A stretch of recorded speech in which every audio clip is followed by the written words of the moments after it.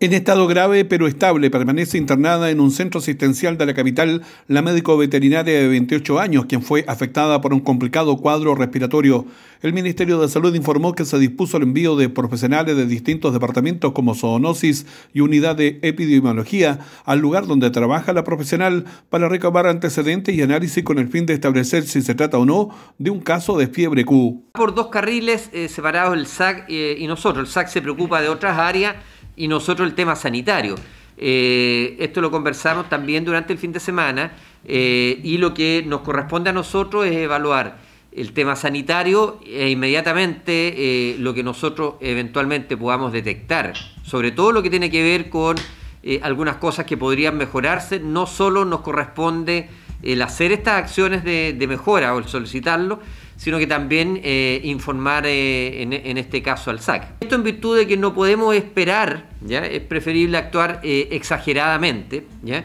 y esto va a redundar en un, en un, informe, en situaciones eventualmente correctivas, si es que están. Ahora, para tranquilidad de toda la comunidad, quiero señalar lo siguiente, y esto va a ser muy fácil de entender, el principal mecanismo para prevenir no solo este tipo de, enfermedades como la fiebre Q, si es que fuese, ¿ya? sino que otras como el, el antrax y, otras, es la utilización de la mascarilla.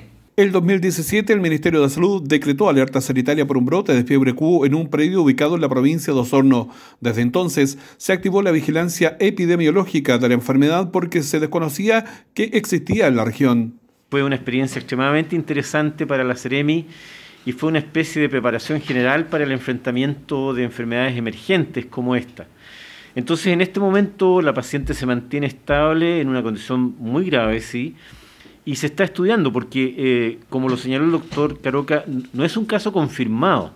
Se están haciendo los estudios eh, microbiológicos en el Instituto de Salud Pública a fin de determinar cuál puede ser el agente infeccioso involucrado en, esta, en esta condición. Producto justamente de que no se implementan al interior de la empresa las medidas de seguridad necesarias para poder desempeñar sus funciones en la época de los partos de los animales. Desde ese punto de vista entendemos de que la empresa tiene que tener una mayor responsabilidad social, laboral y de seguridad con sus trabajadores. Por eso esperamos que el gobierno a través del Ministerio de Salud entregue toda la información de este caso en donde tenemos entendido existe una persona que se encuentra en una situación grave de salud provocada por esta fiebre que le estaría afectando desde el punto de vista sanitario. La fiebre Q es una zoonosis altamente contagiosa causada por la bacteria Coxiella burnetti, que está presente en especies rumiantes, en los residuos de los partos y abortos, en las heces, leches y además otros fluidos orgánicos de animales infectados.